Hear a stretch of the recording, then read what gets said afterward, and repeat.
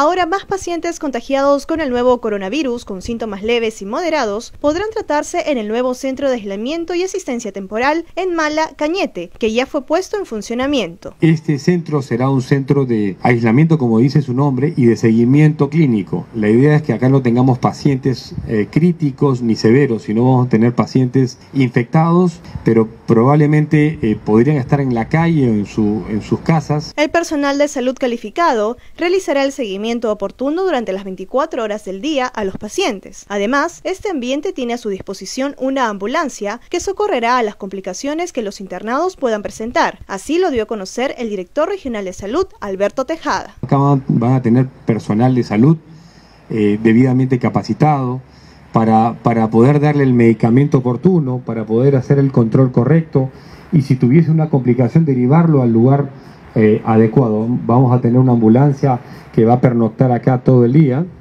para justamente trasladar al paciente cuando sea necesario. El espacio cedido cuenta con 40 habitaciones y 80 camas, además de áreas de salud que complementan el servicio hospitalario.